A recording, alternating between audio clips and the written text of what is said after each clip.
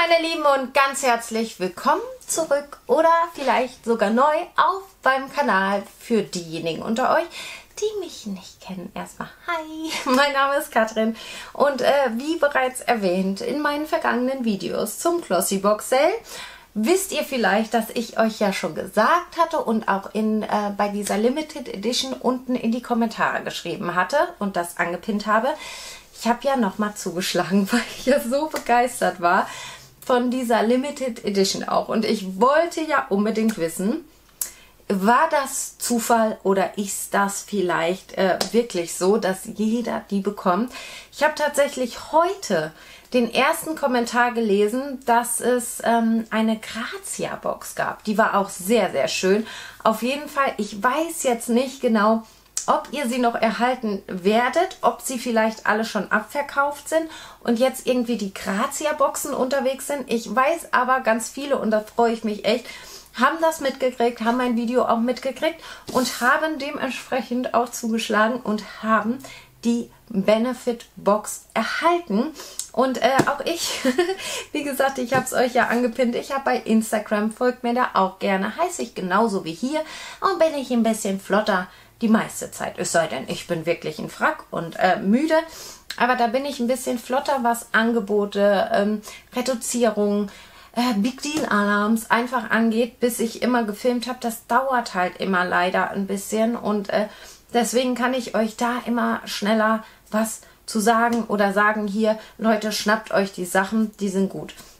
Auf jeden Fall habe ich ja nochmal die Einzel Limited Edition Box nachbestellt und Leute, yay, ich freue mich voll. Leute, ich freue mich so sehr. Ich habe sie einfach wieder geschnappt und äh, finde ich eine sehr, sehr gelungene Box für 25 Euro. Die Links, ich hoffe, der Sale ist noch, wenn ich jetzt hier das Video mache, aber im Moment gibt es die Sachen alle noch. Ich versuche es so schnell wie möglich zu bearbeiten. Das dauert ja auch immer so ein bisschen. Oh, Katrin labert wieder. Auf jeden Fall, ich habe die nochmal gekriegt. Und wie gesagt, heute äh, habe ich halt gelesen, dass eine Grazia-Box gelandet ist. Also vielleicht, ne, für euch interessant, ähm, dass ihr auch, ich habe ja gleich gesagt, ich, weiß es ja nicht. Es ist ja keine Garantie, aber Chiquitas Blaze hat zum Beispiel, hat sich auch die Box geschnappt und ähm, hat auch diese Benefit-Box gekriegt und äh, ich, also viele, viele, ähm, auch auf Instagram habe ich gesehen, wie dann die Benefit-Boxen einfach ähm, sich sich geschnappt worden sind, halt angekommen sind bei den Leuten, dass die erhältlich waren. Ich habe aber nicht nur diese Einzelbox bestellt, weil ich dachte, okay, wenn die jetzt so coole Limited Editions raushauen, schnappe ich mir doch auch einfach mal das äh, Zweier-Bundle und dachte, vielleicht sind da auch wieder coole Boxen mit drin. Ich meine, schaut mal bei der lieben Wusi rein. Die hat nämlich auch beim Sale zugeschlagen und hat auch die Limited Editions sich geschnappt. Und ähm, soweit ich das jetzt noch im Kopf habe, habe ich nochmal die gleichen bekommen, die sie auch hat. Und ich habe sie natürlich schon aufgemacht und einmal reingestöbert. Und ich habe hier einmal It's a Glossy Birthday am Start. Und, und da freue ich mich, da habe ich die andere so ein bisschen reingelegt. Ich hole sie mal raus. Die habe ich mir nämlich nicht geholt gehabt und das ist die Celebrate the Joy of Beauty. Diese ähm, Weihnachtsedition ist einmal hier am Start. Ich öffne einfach mal zuerst die Weihnachtsedition.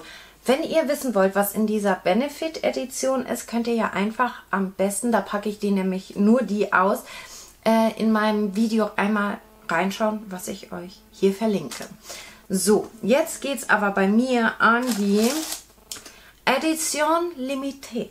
Denn das ist nicht die deutsche, sondern die französische Box. Und das ist so süß gemacht. Ähm, hier einmal auch zum Verschenken, quasi, dass man die Namen draufschreiben kann.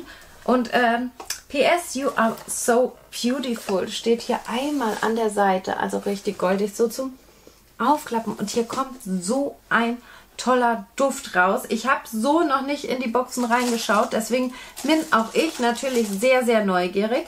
Wir haben ein lila Schleifchen und ich versuche, oh mein Gott, ah, weil ich wollte euch ja vielleicht, also nicht vielleicht, ich packe euch auf jeden Fall noch eine Verlosung zusammen.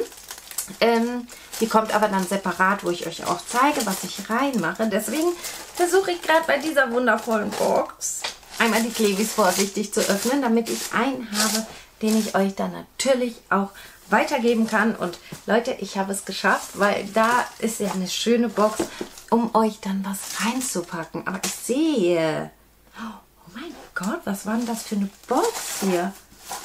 Wie ich einfach alleine schon mal aus Neugierde durchwühle. Ich äh, muss gerade bei dem ersten lachen, denn da habe ich kleine, kennen wir sie nicht.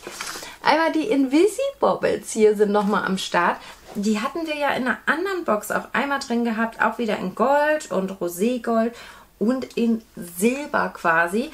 Ähm, die werde ich dann auch zur Seite packen, damit ihr da vielleicht auch zuschlagen könnt. Dann geht es weiter, also bei der Verlosung. ich bin schon wieder in Gedanken woanders. Äh, Christophe Robin ist hier etwas. Äh, auch wieder diese Hydrating Melting Mask mit Aloe Vera ist einmal hier mit drin. Eine schöne, interessante Maske. Oh nee. Really? Haben die das getan? War das bei uns auch drin? War das vielleicht ein Grund, warum ich nicht zugeschlagen habe? Leute, wir haben was mega expensive-mäßiges hier drin. Ich weiß, ähm, ich, ich mochte das eigentlich. Das ist echt ein tolles Produkt. Mich hat es nur irgendwann so genervt und es ist einfach nicht leer geworden. Avant. Ich finde es halt völlig überteuert. Also man muss nicht über diesen Preis reden. Ist wieder dieses Rose Sugar Lip Scrub, ähm, das die meisten auch einfach nicht mehr sehen können, weil, weil es halt nichts Neues mehr ist, nichts Spektakuläres mehr ist. Aber ich weiß, ganz viele von euch sind hier auch dabei, die sind kein Glossybox-Abonnent oder Look Fantastic oder ne, wo diese Teilchen mit drin waren. Deswegen äh, wird das wahrscheinlich dann auch für euch in die Verlosung wandern. Wenn nicht, kann man das ja auch immer noch weiterschenken. Dann, dann, dann gehe ich mal zu einem Teilchen, da habe ich mich sehr gefreut und ich frage mich, warum ist hier nochmal so, was ist das? Einmal in einem extra Tütchen hier verpackt daherkommt. Äh, vielleicht seht ihr es, es ist einfach ein Produkt von Huda Beauty. Ähm, das ist natürlich immer sehr, sehr schön. Warum es jetzt in diesem extra Tütchen ist, ich weiß es nicht. Ist auf jeden Fall ein Lip Contour in der Farbe Venus. Also ein schöner Farbton, den man aber heftig anspitzen muss. Oh, nein. Oh, oder? Kann man das? Was ist das? Oh mein Gott, ich mach's gleich kaputt. Auf jeden Fall ist es von Huda Beauty ein ähm, hier Lip Liner. Ich dachte, man kann den rausdrehen, aber da unten dreht sich auch was. Ich, es könnte jetzt sein, dass da einfach mh, hm, spitzer ist, aber ich möchte es nicht weiter zerstören, deswegen lege ich das mal darüber. Ähm, dann habe ich hier Give Them Lala Beauty.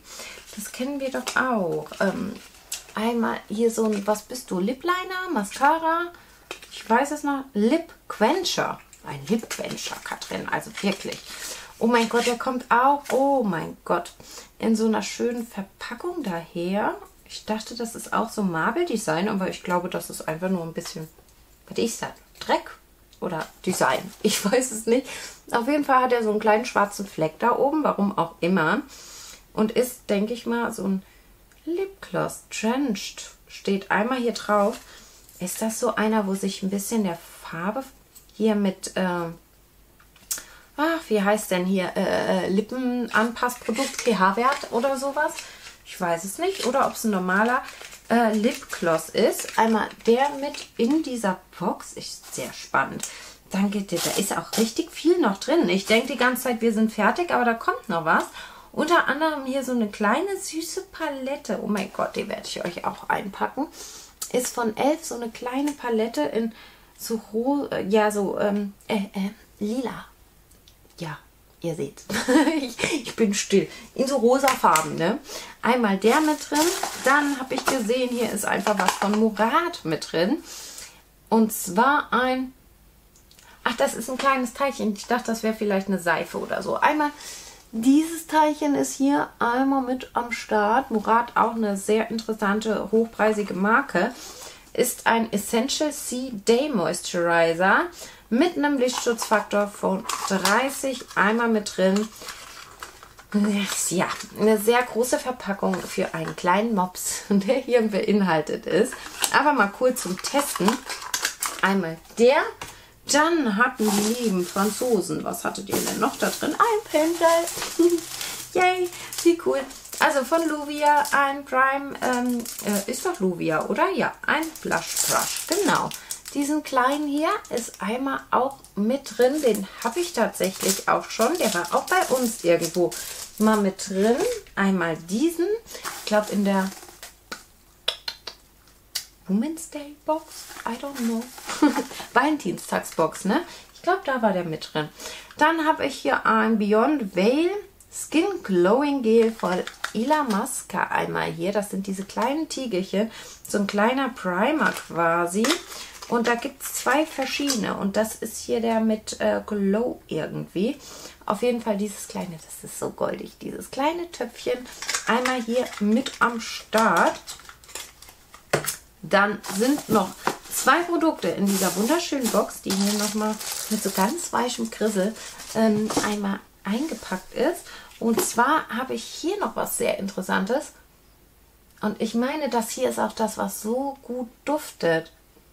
Das ist ein sehr angenehmer, ein bisschen männlicher Duft irgendwie. Also ich würde es jetzt nicht nach Blumen und tralala. Irgendwie ist das so ein bisschen männlich, sehr, also so herber vom Geruch her, aber mag ich gerne. Ist ein ähm, Momo Shampoo, Moisturizing Shampoo für trockene und äh, dehydrierte Haare. Ähm, die Marke sagt mir nichts, das Shampoo sagt mir nichts, finde ich auf jeden Fall sehr, sehr spannend. So eine kleine Flasche hier einmal. Ähm, ich weiß nicht, wie viel drin ist, 30 Milliliter, 75 Milliliter, Entschuldigung. Sehr, sehr spannend, auch ähm, sieht das aus. Dann kommt hier als letztes noch was sehr cooles und zwar ein Pressed Illuminating Powder und zwar von The Beauty Corp Glow Milk. Und da hatten wir doch diesen kleinen süßen, wo ist er denn? Wo ist er? Diese kleine süße Milchtüte auch mal in einem Sale gehabt. Ich finde ihn nicht. Auf jeden Fall äh, war das echt ein tolles Teilchen, weil ich noch mit ein bisschen Öl retten konnte und was hier auch auf jeden Fall irgendwo auf diesen, äh, diesem Tisch am Start ist. Der ist nochmal extra hier eingepackt und, oh, der sieht aber sehr dunkel aus. Ähm, Pure Pleasure heißt das Ganze. Wir haben hier 3 Gramm. Und Leute, ich habe euch gerade auch mein ähm, Penning Sisters abgefilmt. Also wir brauchen nicht drüber reden, dass man selbst an diesen kleinen Teilchen echt lange hat. Ich gehe hier einmal rein. Auch eine schöne Stanzung hier drin. Auf jeden Fall sieht er auch wie dieser kleine in der Milchflasche von der Farbe her aus. Oh mein Gott. Mm, der ist schön. Leute, schaut euch den mal an. Der sieht richtig toll aus. Wow. Also der gefällt mir sehr, sehr gut. Vom Farbton her auch. Und äh, finde ich auch sehr cool. Eine schöne Box, die lieben Franzosen. Ich, ich weiß gerade leider gar nicht so, was in, in der deutschen Variante drin war. Ich schieb mal hier. Ich habe hier wieder alles rumstehen, weil ich was gesucht habe. Ähm, aber ich weiß gar nicht, was in der deutschen Variante drin war. Auf jeden Fall nichts, was mich gecatcht hat, weil sonst hätte ich wahrscheinlich zugeschlagen. Ich weiß es nicht. Hm, ich äh, kann es euch nicht sagen. Wie gesagt, ich hatte sie nicht. Aber diese Box, und ich weiß nicht, ich hoffe jetzt, sie ist französisch, ist die It's a Glossy Birthday Box. Die hatte ich mir nämlich auch geschnappt, weil ich die ganz cool fand. Kommt hier einfach nur mal so eingerappt und da innen drin ist eine normale ähm, rosa Verpackung. Limited Edition. It's a Glossy Birthday. Äh, hm, okay. Äh, der Glossy August steht im Zeichen. Also es ist, ich habe Hunger, die deutsche Variante dieser Box. Das heißt, die kenne ich, die hatte ich schon. Und äh, habe sie tatsächlich schon mal entdeckt, aber ich bin mir gar nicht mehr sicher, was hier alles so drin war. Auf jeden Fall, okay, ich weiß, warum ich mir die gekauft habe, Leute. Oh mein Gott, okay. Hier kommt als erstes, das ist auch so süß, ne? Weil ich dich mag, wünsch dir was. So eine kleine, ähm, hier, ähm, Kerze einmal. Diese, merkt ihr was? Wie heißen sie denn jetzt schon wieder? Die äh, Funkenkerzen hier. Wundercandle, Wunderkerze. So, genau. Die ist einmal hier mit drin, eine kleine Aufmerksamkeit. Dann haben wir hier drin, oh Gott, das muss ich machen. Meine Schubflechte macht mich fertig im Moment. Also wirklich, die, die greift gerade bei mir so ziemlich alles an. Meine Hände sehen echt aus. Aber ich habe hier eine Handmaske. Und zwar von Le Mini Macaron. Einmal diese hier mit Vanille und äh, Mandelextrakten. Masken sind natürlich auch cool. Und äh, das war wahrscheinlich auch hier so der ausschlaggebende Grund, warum ich hier die Box mir geschnappt habe, ist nämlich, ich habe schon erwähnt, dass ich Rituals Duschräume sehr, sehr gerne mag. Ich mag die echt super gerne und das ist der ähm, Ritual of Jing Sleep ähm, mit Sacred Wood und Lavendel. Ah, lecker. Lecker, lecker. Ich mag Lavendel eh gerne und ich mag diese Duschschäume halt unheimlich gerne. Ist für mich schon ein Riesenpunkt, wo ich sage, okay, die Box ist sehr schön. Was ich nicht schön finde, ist, dass wir hier von Steve Laurent diese kleine Palette einmal mit drin hatten ähm, die wir auch vorher schon mal irgendwo in Boxen hatten. Also ähm, das ist auf jeden Fall eine Palette, die habe ich. Deswegen wird auch sowas bei mir natürlich weiter wandern. Dann ein Teilchen, mm, das habe ich auch schon da und habe ich auch schon weitergegeben, ist eine bräunende Schlafmaske für den Körper von James Reed Gradual Teint. Sehr teuer, aber ich, ich sag, aber ich traue mich immer mehr an so Selbstbräuner-Produkte ran. Ich habe auch im Moment dieses Selbstbräuner Serum. Oh, das habe ich so richtig für mich entdeckt, wo es in dieser Limited Edition von Look Fantastic ähm, in dieser Sommerbox gab. Das ist toll, Leute. Auch für den Körper kann ich mir gut vorstellen, aber ich habe immer so Angst, dass ich so fleckig werde. Auf jeden Fall das einmal mit drin. Dann, ah, mh, mm, da hatte ich mich sehr drauf gefreut und habe die falsche Farbe gekriegt, ne? Ist hier einmal drin von Iconic London, nämlich dieser Triple Precise Brow Def äh, Definer, also dieser Augenbrauenstift. Chestnut Brown. Oh mein Gott, welche Farbe hatte ich denn damals und hab, war traurig, dass sie mir nicht gepasst hat. War das Chestnut Brown? Ich glaube. Ash Blond habe ich damals. Oh, ich habe die richtige Farbe dann anscheinend. Weil ich hatte Ash Blond gekriegt. Genau, wo ich gesagt habe, Leute, ihr habt doch äh, Chestnut Brown angegeben gehabt. Und der, den könnte ich mal aussortieren, Leute. Der ist mir nämlich viel, viel zu hell. Den muss ich mal hier in meine Aussortierliste einmal machen. Der war mir nämlich viel zu hell und... Ähm, Jetzt habe ich die richtige Farbe. Durch Umwege. Das gibt's doch nicht. Weil den fand ich super, super spannend. Ähm, der sieht immer noch sehr hell aus, aber ich probiere es mal. Oh, der ist ja noch heller, Leute. Oh mein Gott. okay, das ist ein absolutes No-Go. Also, Leute, ich habe ihn nur gerade geswatcht, vielleicht. Ähm, aber der ist so speziell von der Farbe her. Ah, das ist natürlich blöd. Aber der ist ja noch heller. Dann werde ich den leider auch aussortieren, weil Chestnut Brown, Leute, der ist ja das Ash Blond, passt mir ja besser. Und selbst das passt mir nicht. Auf jeden Fall der einmal mit drin. Wie schade. Ich habe mich gerade schon richtig drüber gefreut gehabt. Aber auch der wird dann leider einmal weiterziehen, weil das hat nichts mit Braun zu tun. Das ist ja schon rot. Also nichts für mich auf jeden Fall. Äh, aber ich sehe hier noch ein bisschen Extras, die ich sehr gerne mag. Unter anderem hier nämlich ein ähm, ah, von Banana Beauty, ein Velvet Lip Mousse ist hier mit vorhanden drin. Und zwar in dieser wunderschönen Farbe.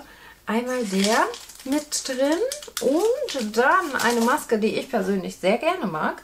Von Christophe Robin, eine hier diese, die habe ich auch schon mal benutzt gehabt und ich mochte den Duft sehr gerne. Ich weiß, ganz viele mochten den Duft gar nicht leiden. Ich mochte den sehr gerne. Ich fand die Pflege sehr gut. Und dann noch etwas für die Haare hier drin und zwar von Blum and Poppy ein Hair Finishing Gel, was ich mit meinen kleinen Zotteln, ich habe heute noch nicht mal Haarspray drin, ne? Und da ist schon wieder die Locke am Start. Auf jeden Fall so ein kleines Finishing Gel für die Haare nochmal so ein bisschen anzutackern und wegzumachen. Und das war auch das letzte Teilchen. Also mir hat die, die ich brauche mein über Benefit, müssen wir nicht reden. Ähm, auf jeden Fall hat mir die auch sehr gut gefallen. Hier diese ähm, französische. Ne? Man freut sich natürlich auch immer über die Produkte. Die riecht so toll, Leute. Äh, über äh, die ausländischen Boxen ein bisschen mehr, weil so wie jetzt halt leider habe ich mir die Box natürlich auch damals geschnappt gehabt und ähm, sind trotzdem schöne Produkte. Ich bin noch ein bisschen traurig ne, mit ihm hier, aber ich sage ja, ich packe euch eine schöne Verlosungskiste zusammen und ich bin eine kleine Tetris-Maus. Ne? Ich, ich quetsche da rein, was geht, weil soll sich ja lohnen. Und wenn nicht, wird noch ein bisschen extra aufgefüllt aus meinen kleinen Vorräten als kleine Überraschung für euch. Äh, das kommt aber in einem separaten Video. Und ihr Lieben, das waren die, ja, die einzelne Limited Edition Box aus dem Glossy Box Sale und das 2A-Bundle. Ich weiß nicht. Entscheidet selbst, wenn da Produkte sind, die ihr richtig klasse findet. Ich glaube, ich habe so ziemlich alles abgegrast am Glossy Box Sale, was es so gab, außer jetzt so die anderen Bundles, aber die sind ja eigentlich immer sehr identisch zum 5er Bundle. Ich habe den Rituals Schaum. Oh mein Gott. Den habe ich ganz verdrängt. Da freue ich mich schon mega. Da, das passt. Da passt der Preis auf jeden Fall von den Boxen, weil allein das Teilchen freue ich mich mega. Andere coole Sachen. Und äh, da passt auch diese kleine Box dann für mich. Harababere ich hier immer noch. Leute, macht's gut, ihr süßen, wunderschönen Tag, Abend, Nacht, Morgen, Mittag. Ciao, ciao.